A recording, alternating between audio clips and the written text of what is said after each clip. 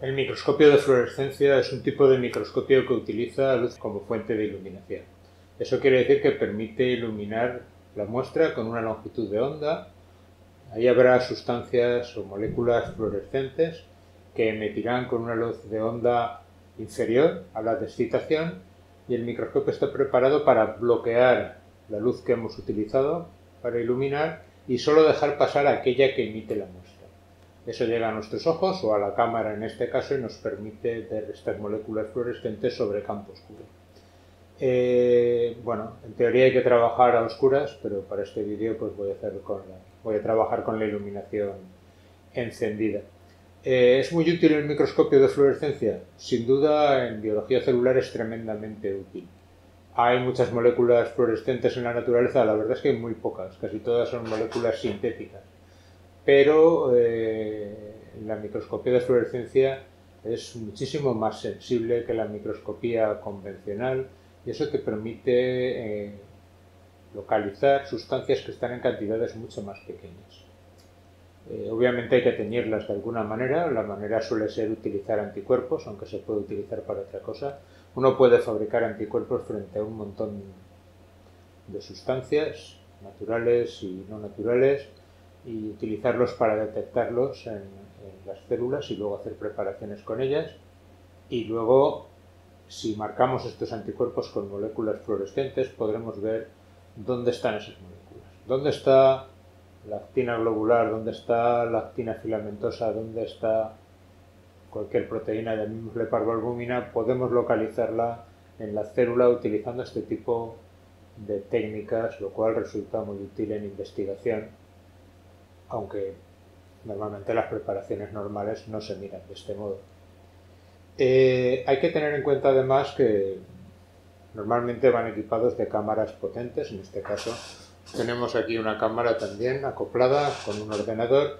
Esta cámara te permite sumar la iluminación que libera la muestra durante bastantes segundos, en casos extremos 15 segundos o más, de manera que incluso cosas que a simple vista no se pueden ver, pues se pueden detectar. Simplemente el microscopio de fluorescencia para trabajar directamente sin, hacer fotos quizás no sea tan interesante o no tan sensible, aunque obviamente para colocar las muestras y demás se puede.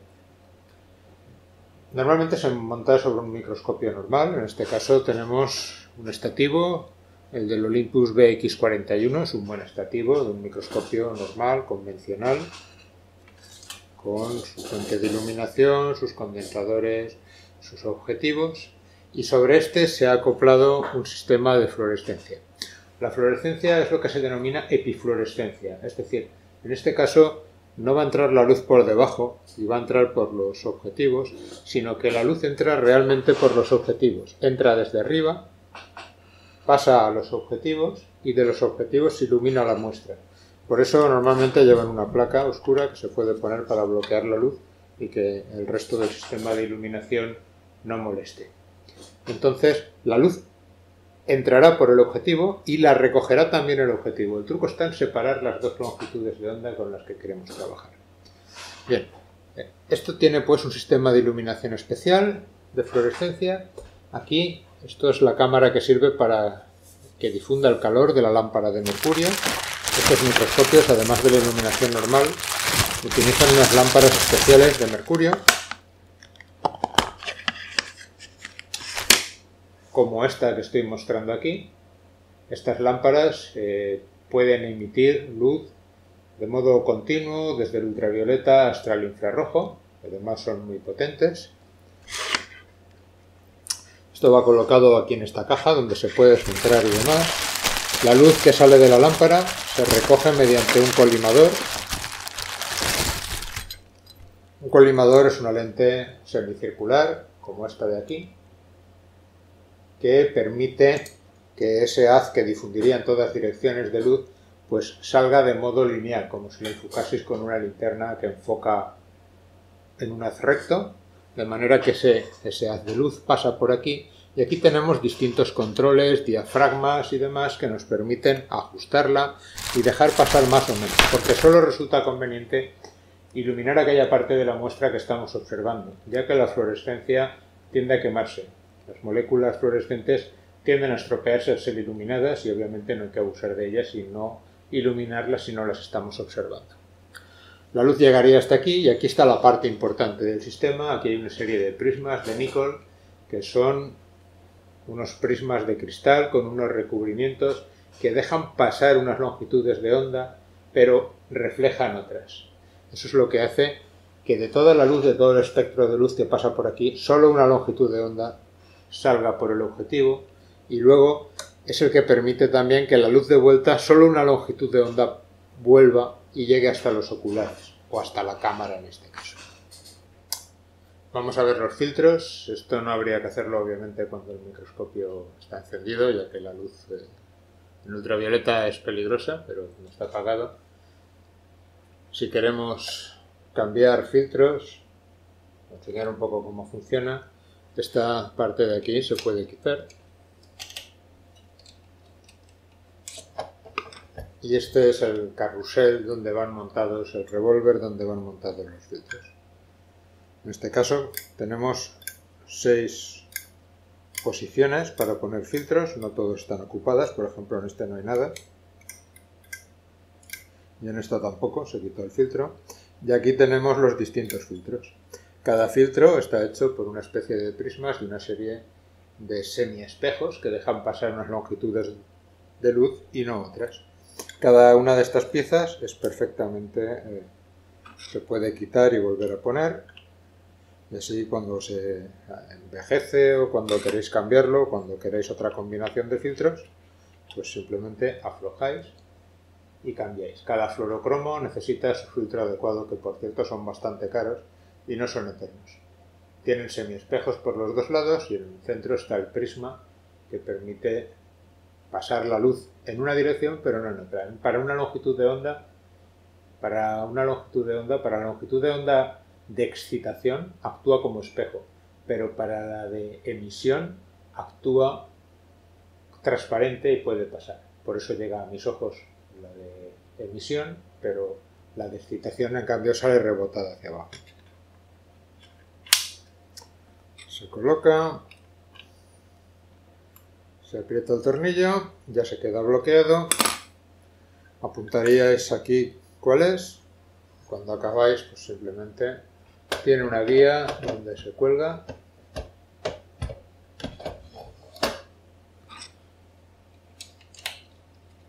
Se vuelve a atornillar y ya estaría instalado. La parte del resto del microscopio, la parte del microscopio normal es como todos los microscopios.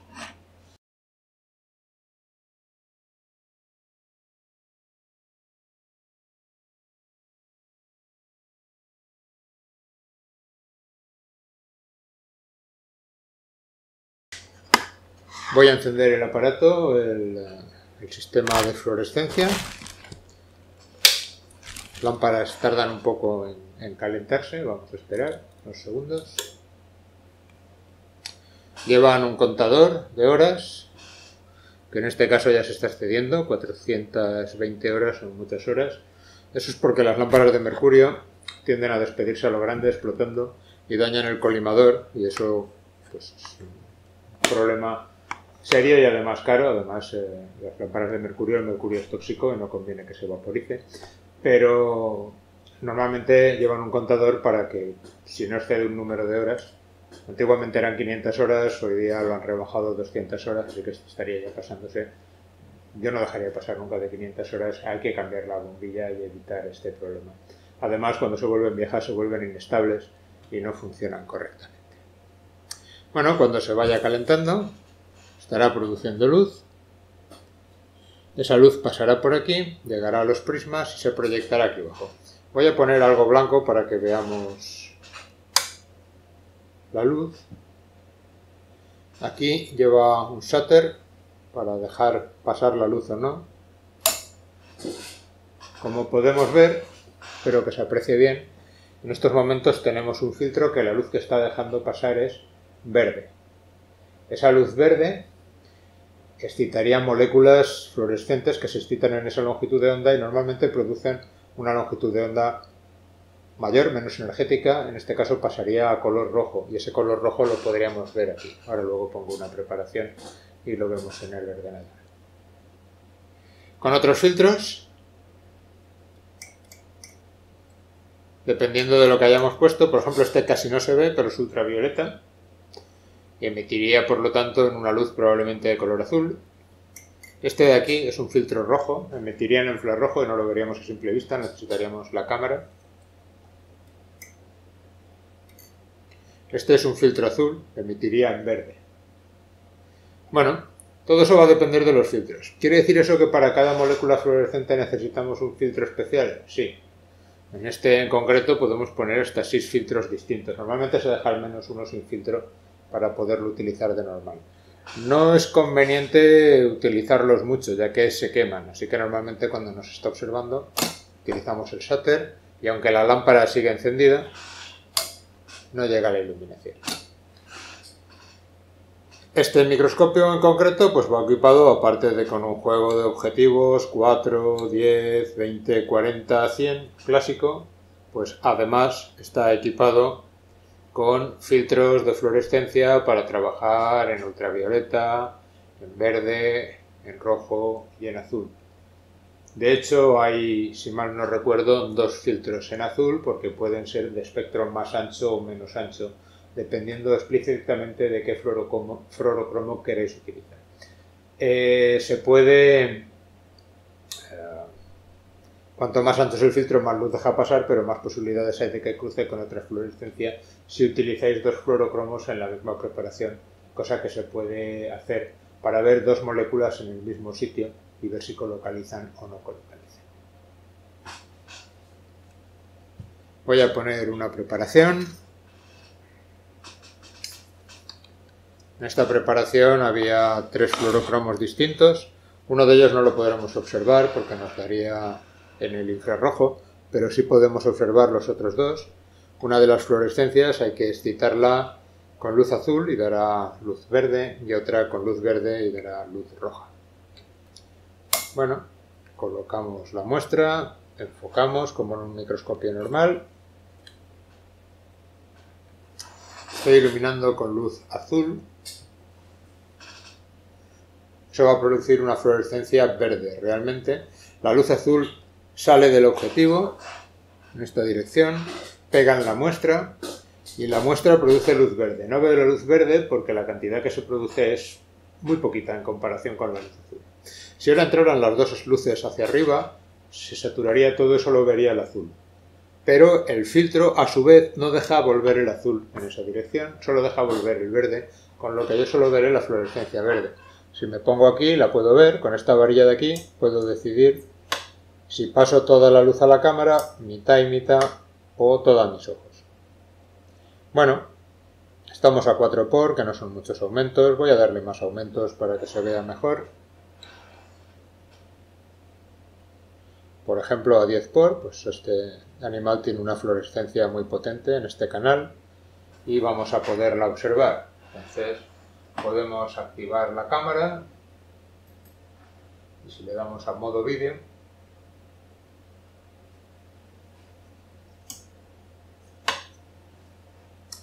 como podemos ver la imagen está muy saturada se ve totalmente verde, eso es porque hay demasiada luz tenemos las opciones de limitar la cantidad de luz que pasa utilizando estos controles o, por ejemplo así, podríamos limitarla y reenfocar y así ya lograríamos ver bien las celdas. La otra manera pues es controlar la exposición de la cámara.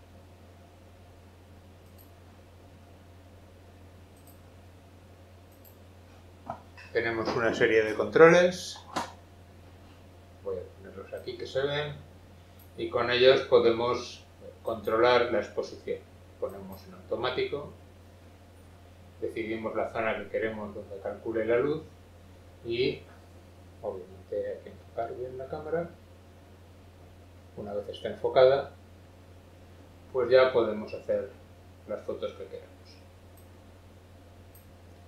si no nos convence el automático, podemos utilizar modos manuales, porque muchas veces los sensores de las cámaras, dependiendo del tipo de luz, dan unos tiempos u otros. Por ejemplo, En este caso le he cerrado mucho la luz y los tiempos que me ha dado son muy largos, la foto sale bien, pero si lo pongo en manual me permite controlar los segundos, ahora estaba un segundo con tres, bueno, vamos a darle 100, 100 milisegundos por ejemplo, podemos disparar y vemos que ha quedado muy oscura. Tenemos varias opciones entonces. Una opción es dejar pasar más luz. Que es lo que se suele hacer. Y luego, pues en este caso habría que aumentar tiempo de exposición. No conviene que esté saturado, siempre conviene que no llegue a oscurecerse total, por ejemplo 200 milisegundos estaría bien. Y bueno, elegimos el lugar donde queremos, es un programa un poco fastidioso de utilizar, pero bueno, no se acostumbra cuando lo usa de continuo. Hay una serie de parámetros, de tamaños y demás. Aquí tendríamos la fotografía de la fluorescencia para ese canal. Si queremos ver el otro canal, que estará en rojo, pues lo que tenemos que hacer es ponemos la iluminación en el verde, que es la longitud de onda adecuada, 550 nanómetros, y vamos a elegir otro canal para que no se chafe. Como podemos ver, en este hay muchas menos células, no sé si se llegará a ver porque el rojo las cámaras son mucho menos sensibles. Bueno, vamos a darle tiempo de exposición mayor para que se vea el rojo y aquí hay unas células marcadas, luego lo grabo y os enseño cómo se vería. Fijaros que ahora no se ve la fluorescencia verde y antes no se veía la fluorescencia rojo. Pues esa es una de las gracias que tiene el microscopio de fluorescencia que te permite ver varios tipos de fluorescencia a la vez. Le damos ahora a la cámara y nos hace una fotografía.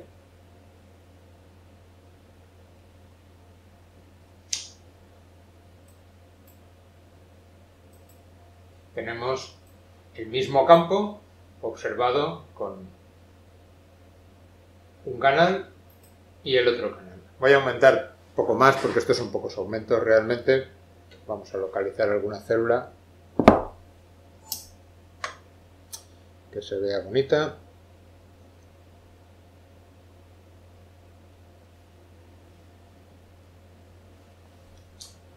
Vamos a verlo en modo vídeo.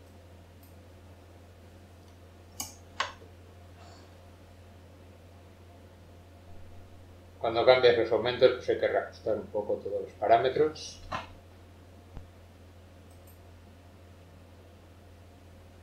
Por ejemplo, está bastante bien. Buscamos el foco y podemos hacer la fotografía.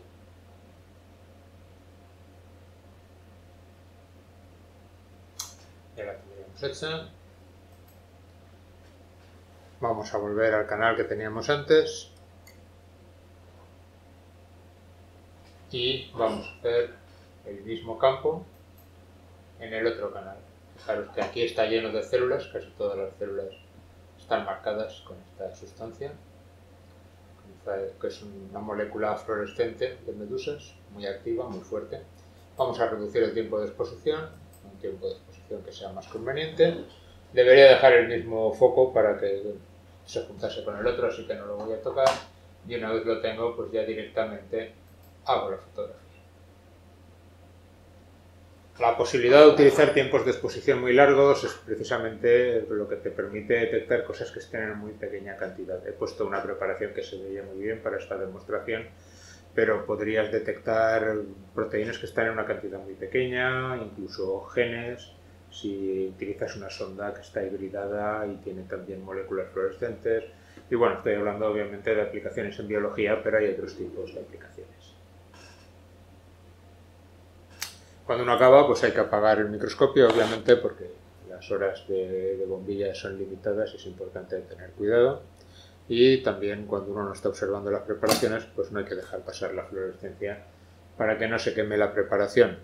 Esta preparación es muy resistente, pero en general, eh, si la preparación se quema, pues luego si queremos comparar fluorescencias sería un problema. Pero bueno, esos son ya problemas más de investigación, no de cómo funciona el microscopio. Voy a comentar las fotografías que hemos tomado durante el proceso. Podemos ver aquí a 10 por hemos utilizado el filtro de fluoresceína. Este filtro emite, excita a una longitud de unos 450, una cosa por ahí, es decir, de color azul, la luz de color azul, y eso va a hacer que se emita una luz de color verde. Aquí podemos ver células principales del hipocampo marcadas con este filtro. Lo que está ocurriendo aquí en el microscopio en este momento es la fuente de luz, la lámpara de mercurio, emite luz en todas las longitudes de onda que llega al filtro de excitación, esos cubos que he enseñado. Ahí solo deja pasar la luz azul, que es la que se refleja en el espejo dicroico. Ese espejo refleja la luz azul, en este caso llega a la muestra, está siendo iluminada con luz azul, no luz verde, pero la sustancia cuando es iluminada produce una luz verde que sale hacia nuestro objetivo de vuelta, tanto la luz entra como sale por el objetivo. Ahora pasa el espejo porque es de una longitud de onda distinta y este espejo no va, a reflejar la luz verde. Hay un nuevo filtro que restringe todavía más lo que puede llegar a la cámara y al ocular y ya funciona como un microscopio normal. Si cambiamos el filtro sin mover la preparación, con el filtro de rodamina, en este caso cambia la longitud de excitación y la longitud de emisión, porque estamos hablando de un eh, filtro diferente, vemos que tengo marcadas unas pocas células, en este caso son interneuronas calretinina, y las podemos ver con el filtro de rodamina. Es la misma imagen, pero cambia totalmente. Si cambiamos los aumentos, en la siguiente es un fragmento de este campo con eh, fluoresceína, ahí podemos ver un vaso sanguíneo y en la siguiente fotografía vemos también el vaso sanguíneo. Cuando cambiamos de filtro luego estamos en el mismo campo y podemos observar bastantes células marcadas, pero no tantas como se veían antes en color verde. A 40 aumentos, pues sería lo mismo simplemente cambiando el filtro. Y si pusiera otro filtro que no hay ninguna nada fluorescente allí, por ejemplo, he puesto el filtro de ultravioleta y puedo ver que no hay células marcadas. Hay una cierta autofluorescencia, he tomado la foto para que saliera y mm, eso se debe al fijador para formaldehído, pero como se puede ver no hay células marcadas. Eh, aunque solo veo un color y sobre campo oscuro, que es como funciona el microscopio, obviamente puedo combinarlo con el ordenador. Por ejemplo, aquí he juntado los dos canales, el canal de la fluoresceína y el canal de la rodamina, y he hecho una imagen compuesta del mismo campo, de la misma zona. Esto sería real, hay dos células rojas y el resto de células verdes, y en este caso además no colocalizarían, sino pues se verían amarillas estas células.